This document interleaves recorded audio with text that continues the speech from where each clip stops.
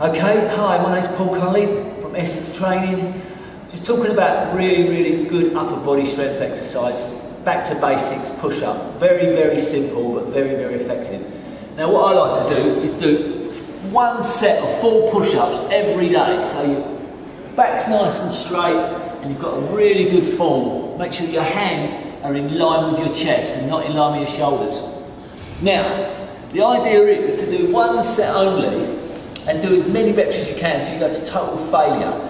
Then the next day, do it again, do it again, every day, just one set a day. You'll find you go from possibly 10 to 20 reps a day up to 50, 60, 100 even.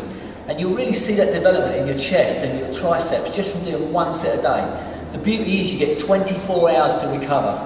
For the ladies, obviously, knees down. Not all ladies, obviously. Some ladies can do full push-ups. But when you do a knees down push-up, none of this bum in the air stuff, the hips come down with you. Hands in line with the chest. Again, one set a day.